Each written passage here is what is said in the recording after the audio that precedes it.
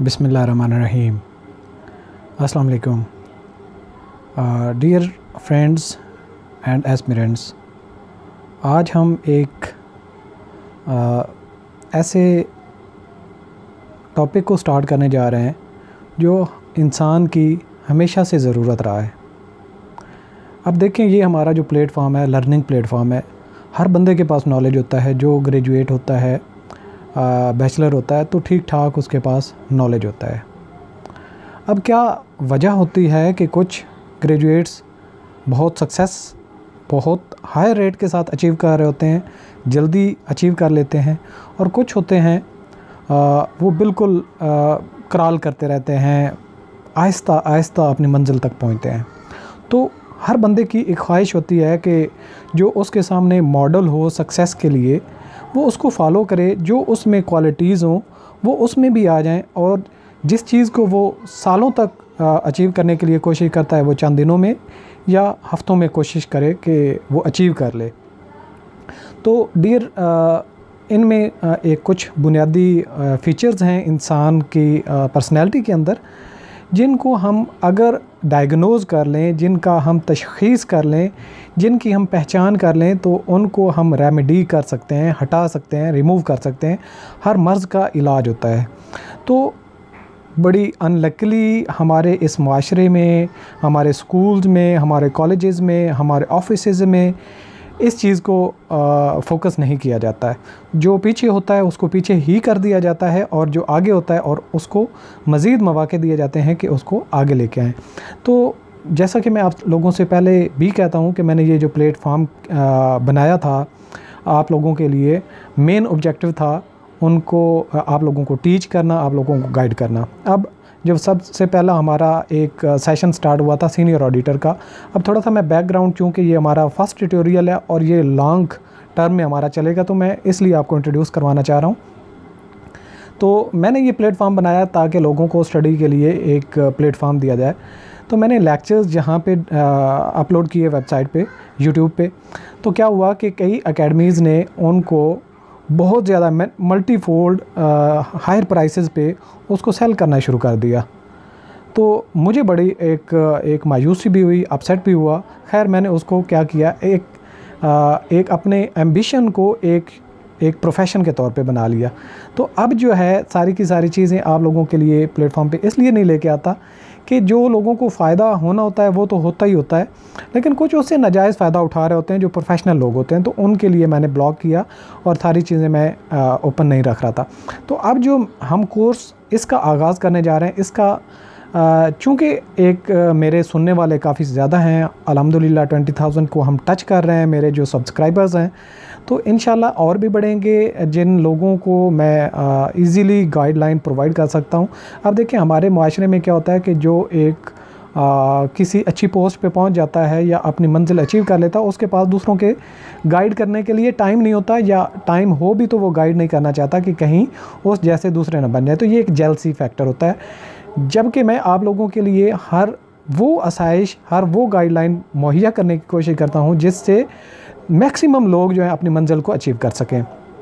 तो आज से हम जिस सेशन का स्टार्ट करने जा रहे हैं, वो है स्टडी से हट के कामन फीचर्स जो एक आपको ऑफिसर्स में नज़र आते हैं या जो आप में वो फीचर्स आ जाएँ तो आपकी पर्सनैलिटी निखार आ जाएगा और उस निखार की वजह से आप ज़िंदगी में अफसर ना भी बन सकें, आपकी डेजिग्नेशन के साथ अफसर ना भी बन सके तो आप ज़िंदगी के किसी और शोबे में भी इतनी तरक्की करेंगे कि आपको किसी ऑफिसरशिप की या नाम के साथ ऑफिसर की ज़रूरत नहीं पड़ेगी, बल्कि आपकी रेपुटेशन गुडविल इतनी ज़्यादा स्ट्रॉन्ग हो जाएगी कि लोग आपको जो है, वो झुक के सलाम करेंगे, बल्कि आपकी तारीफ़ें करेंगे।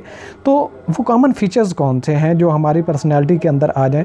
तो दूसरे नंबर पर जो हमारे स्टडी के रेलिवेंट तो हम चीज़ें गाइड कर रहे होते हैं, वो नॉलेज हम ईज़िली आपको एक्सेस करने के लिए मुख्तलिफ़ तरीके से आपकी हेल्प आउट करने की कोशिश कर रहे होते हैं। लेकिन ये जो कॉमन फीचर्स हैं, जिनको कभी फोकस नहीं किया गया, वो दूसरे, हर बंदा दूसरा जो प्रोफेशनल है, वो अकेडमीज़ रन कर रहा होता है, उसमें फोकस कर रहा होता है। लेकिन ये चीज़ें कहीं आपको नहीं मिलती। तो हम हम आज के बाद इन चीज़ों को फोकस करेंगे और वन बाय वन आपके लिए लेके आएँगे। लेकिन आप लोगों ने क्या करना है, यहाँ पे मैं आपसे शुरू में ही बताता चलूँ कि आप लोगों को अगर ये चीज़ पसंद आए, आप लोग ये चाहते हैं कि हम इसको कंटिन्यू करें, आप लोगों के लिए ऐसे टिप्स ट्रिक्स लेके आएँ जो आपकी पर्सनैलिटी के अंदर ऑफिसर्स वाली क्वालिटीज़ लेके आएँ, आपकी पर्सनैलिटी को चार चाँद लग जाएँ और वो एरियाज़ आपको हम बताएँ कि ये एरिया अगर आप में वीक एरिया है तो आप इसको रेमेडी कैसे कर सकते हैं हटा कैसे सकते हैं? और वो कौन कौन से एरियाज़ हैं जो आपको हटाने हैं या जिन पे आपने गौर करना है? तो आपने इस आ, हर मेरी जो वीडियो होगी उसको जितना ज़्यादा आप लाइक करेंगे मैं समझूँगा कि आप लोग उस पर जो है वो उसको लाइक करते हैं, पसंद करते हैं। आप चाहते हैं कि इसको कंटिन्यू किया जाए तो आपने इस पर एक्टिवली पार्टिसिपेट करना है। पहले मैं कभी नहीं कहता आप सब्सक्राइब करें शेयर करें लाइक करें, मैं नहीं कहता। लेकिन अब से मैं ये कहूँगा कि ये जो चीज़ें हैं, आप दूसरों तक पहुँचाएँ, ये आपको कॉमनली हर एक को अवेलेबल होंगी। ये कोई ये हमारा कोर्स नहीं होगा, बल्कि यहाँ पे आपको यूट्यूब चैनल पे एवरी जो नया टिप्स एंड ट्रिक्स का एक सीरीज़ है, वो आपको हेल्प भी कर रही होगी और आपको एक्सेस में भी होगी।